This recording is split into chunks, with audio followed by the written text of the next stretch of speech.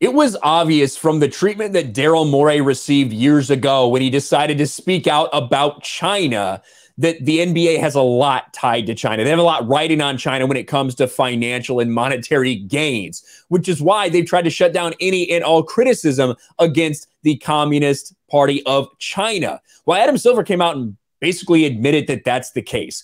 Adam Silver says the NBA lost hundreds of millions of dollars due to the China TV blackout following the Daryl Morey tweet. Commissioner Adam Silver announced this week his league lost hundreds of millions after Chinese TV outlets imposed a blackout of all NBA games following the Daryl Morey tweet in support of the pro democracy movement in Hong Kong.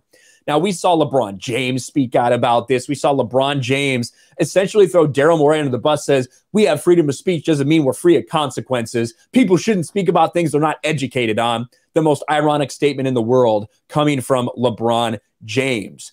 But Adam Silver is basically just admitting what we've all been talking about for years the NBA has different standards for people and what they can say based on what they're talking about because they do not want anyone associated with the league to say anything bad about China because, like you said, they'll lose hundreds of millions if they let it happen.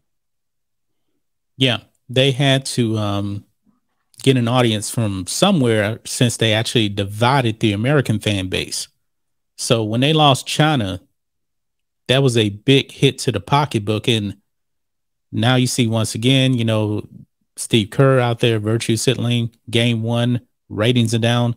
The NBA is its own worst enemy. And not one single player came out and defended Daryl Morey. Not one. Because they knew that their Chinese masters would throw them under the bus and they lost hundreds of millions of dollars. Good. They deserve it. I don't even care and I hope that they lose more money.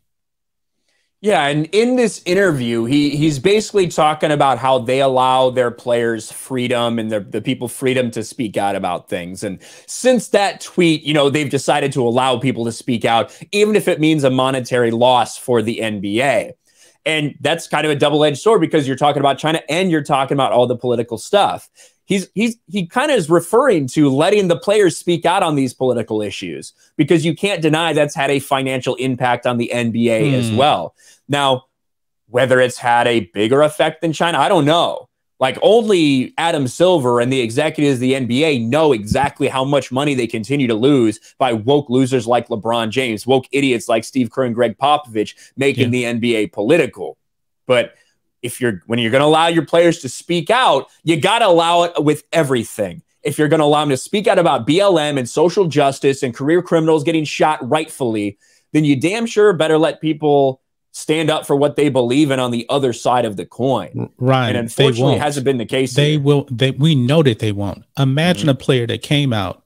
He's wearing a MAGA shirt, and he said, "Secure the border, uh, protect gun rights." Do you think the NBA would have his back? No, no, absolutely not. There's no way it would not. But yeah, you look at the way that Jonathan Isaac was treated when Jonathan Isaac stood for the national anthem and the treatment he got. Did anyone in the NBA defend him? I don't think so. Who was no. the other? We had another player who stood uh, for the national anthem for the Utah Jazz that got raked over the coals, right? I don't, I don't, remember who it was though. That's the right. treatment people get for having normal views in the NBA yeah. when you don't align with woke lunacy. And your and your woke media asks Jonathan Isaac, why are you standing? They actually asked him why he was standing for the national anthem.